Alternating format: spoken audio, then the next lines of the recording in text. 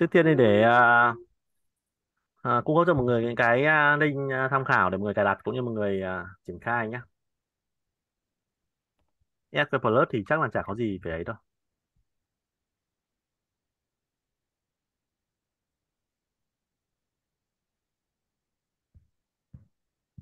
Thì có một số cái câu lệnh mà hay sử dụng SQL Plus thì tổng hợp đây. Gồm một format này. Cái format A10 này mọi người biết là gì không? A10 A15 hay A7 format tên cột. Cột nhá, column nhá. Tên cột, format A10 ai hiểu A10 là gì không? Tranh thủ mọi người bật cái máy ảo đi. Ai bật máy ảo xong này có OVM nhé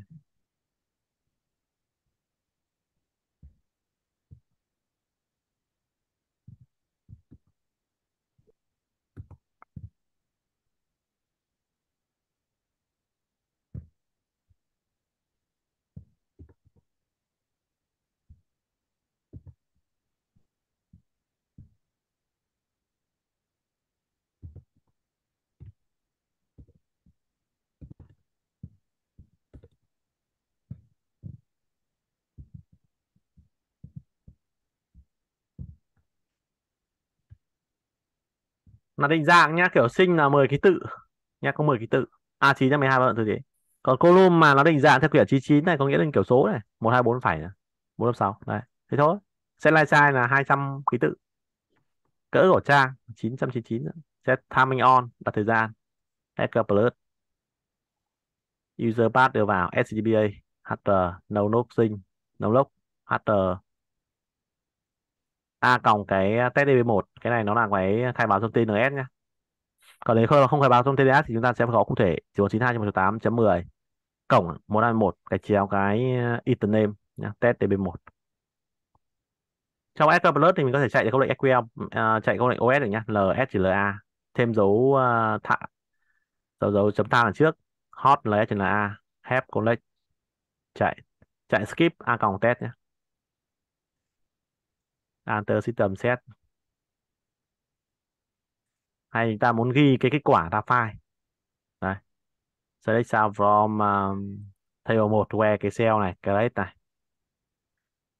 Thì khi đó nó sẽ ghi ra file cho chúng ta. File của chúng ta tmp data. Cái này là thao tác mà chúng ta hay dùng. Ta chạy câu lệnh nó ghi được file. Từ file đấy mà chúng ta import vào cơ sở của chúng ta. Đấy. Tạo pool mới. Tạo skip đây cái này cách này chúng ta cũng hay dùng nhé tạo skip để chúng ta thực hiện move file viết vân vân nhé lấy blend explain blend for xong đưa câu lệnh vào. Đấy thì nó đang là cái blend này chúng ta. Mẫu skip thì đây. Om om đây mẫu skip để chúng ta uh, chúng ta cỡ chúng ta cài đặt trong cái Echo Plus. Thì đây là cái phần Echo Plus của người tham khảo đây.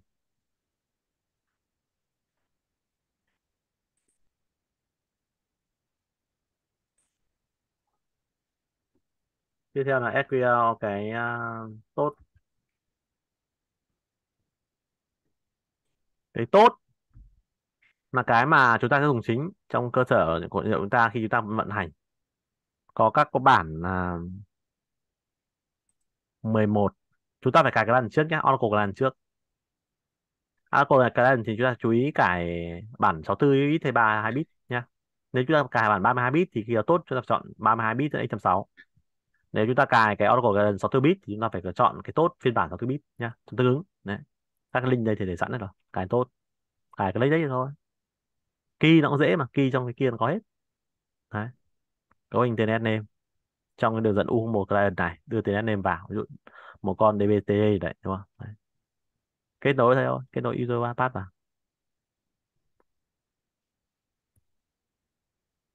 Vào đây chúng ta có thể làm các thao tác thêm xóa sửa sửa thủ tục chạy câu lệnh, vân vân. Có một số lệnh à, mà chúng ta hay dùng này. Thứ nhất F4 để nó miêu tả cái à, object chúng ta. Ta thông tin object. F5 mà chạy skip từ trên dưới. Ctrl Enter chạy dòng hiện tại. Ctrl T thì nó trò trò như kiểu trò cái cái cái code của chúng ta ấy. ngày xưa chúng ta lập trình Ctrl Space thì bây giờ Ctrl T thì ra xóa xóa code chúng ta. Chúng ta có thể sửa lại Ctrl T bằng Ctrl Space vào đây nhé vào phần tool Notion keyboard. Đấy. Tốt uh, ờ, chạy ờ, SQL skip hoặc PLQL chúng ta copy code vào chúng ta thêm năm là xong rồi. Phần này cũng có phần rất hay đó là giám sát câu lệnh. Chúng ta vào monitor vào section browser thì nó ra là các câu lệnh đây. Câu lệnh nào nó đang chạy plan bao nhiêu có đầy đủ hết. Và đây là một số câu lệnh mà chúng ta thường dùng khác nữa. Chúng ta tăng khảo thêm.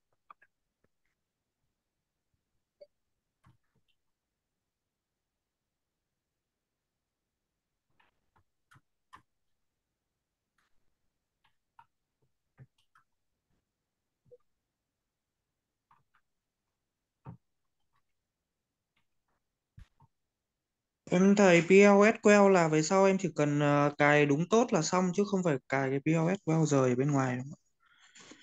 cái tốt là để làm được lập rồi trình. Vâng.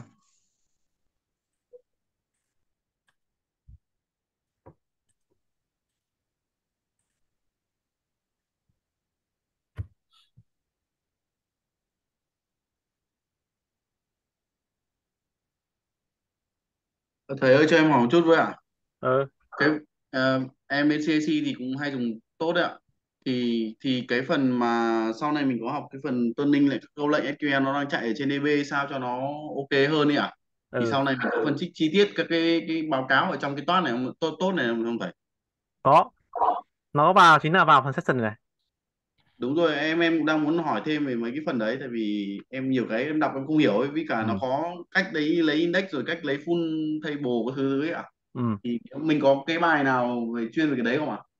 có cái bài liên quan đến phần uh, Python với index thì em hiểu hơn phần đấy. Vâng, ok. em nào Thế lúc đấy nó em tự tin hơn. Vâng, bạn bên bài đấy chú ý học à? Mà hỏi nhiều à? Nhá. Vâng, ok thầy. hỏi nhiều vào thì khi đó là sẽ vỡ được.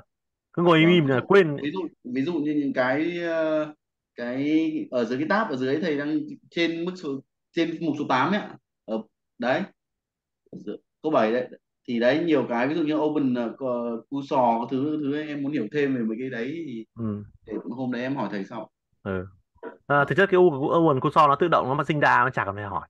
Không, ví chả cần phải hiểu. hoặc là những cái Excel ờ à, Explain ấy hoặc ừ. là hiểu nhất là cái execution uh, execution plan và cái thứ hai là cost bao nhiêu? Uh, log off này, long long off. Long off thì nó chạy uh, nhiều khi nó cứ estimate và nhiều khi nó chạy cũng nó cũng tương đối chính xác có những lúc mà nó nó đơ nó chạy lâu lắm Vâng quan đấy, trọng nhất là cái câu lệnh đó plan chuẩn không? Trả lời câu hỏi đó hơi khó đấy. Đúng rồi. thì nguyên tắc thì còn có nguyên tắc. Nguyên tắc ở đây là OLTP thì phải ăn index. Thế thôi. Nếu không ăn index được không? Thì vẫn được nhiều khi hệ thống nó bắt buộc nó không ăn index nó nhiều khi nó cái full nó bảng nhỏ đấy vẫn ok. Bảng nhỏ hay bảng ví dụ như bảng nhỏ thường xác định là bảng dưới một nghìn bảng bảng kia là bảng nhỏ. Còn bảng to thì cố gắng anh index vào nó hiệu quả hơn rất nhiều đấy. Tại index thì chẳng nhẽ không biết công lệnh nó que điều kiện gì hay là nó roi điều kiện gì thì anh index chừng đấy. Thế thôi từ nhiều khi cái code của nó từ ờ, uh, 10.000 nó thành đánh index xong nó thành ờ, có mấy chục bé tẹo. Nhưng quan trọng nhất là cái thời gian nó nhanh hơn rất nhiều. Cái kia đơn vị nhiều khi 5 giây giờ mình đánh index xong đơn vị nhiều khi là mấy trăm mi giây. Hoặc mấy chục mi giây. Nhanh rất nhiều. Thì cái index thì mình thầy sẽ nói ở cái bài sau. Bài này nó không không nói sâu về index nó qua thôi nhá. Tiếp theo Python nữa. Python bảng to đúng không? Bảng to to tướng đi kể cả đánh index nó cũng vẫn chậm. Thế thì mình phải đánh index vào. Ở đánh Python vào chia Python tức là chia thành bảng to thành những bảng nhỏ Python theo theo theo ngày, theo tháng, tùy là mình quét theo từ cái điều kiện nào. Thì đến cái phần Python thì mọi người sẽ hiểu thì có kỹ hơn. Tức là bảng to, bảng tỷ vẫn ghi, bây giờ mình thấy là nó quét, mỗi lần nó quét một tháng thôi, bạn thế mà mỗi lần nó chỉ quét mấy ngày thôi, thì mình phải chia Python từ cái, quét mấy ngày đánh Python trong ngày. Quét tháng, Python theo tháng, quét năm, Python theo năm. Đấy, từ cái bảng to rất to, nó phải quét mỗi tí thế thôi. Mà trong cái Python đấy mình đánh thêm index nữa. Thì nó sẽ rất hiệu quả thế thôi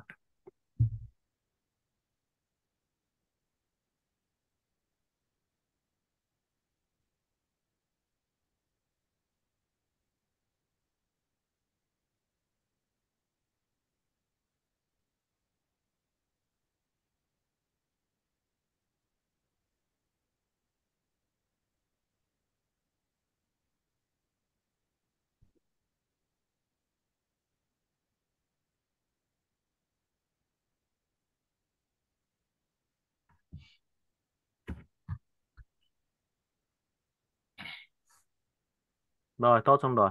À, tiếp theo một công cụ nữa mọi người à, cái tốt này thì à, một công cụ nữa.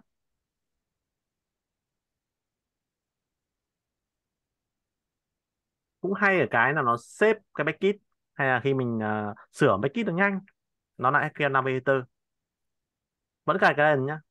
Xong uh, cài cái bản 6.5 này chẳng thế. Đấy xong rồi khi mình mở backkit ra nhá mình chỉ cần xếp Ctrl S là xong. Nó rất là nhanh đấy. Nó tiện. Hoặc là khi mình viết code này nó cảm giác nó cũng tiện hơn nó nhẹ hơn thằng thằng thằng tốt kia một chút.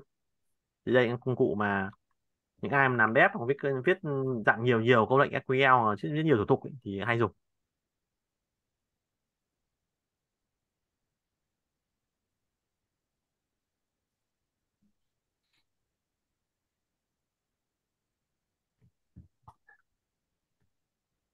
Còn đây là cái cái cài 12k Cloud Control 12C nhé trên ừ, bản Linux Oracle Linux thì cái này là 13C thì cũng cài tương tự thế nhá.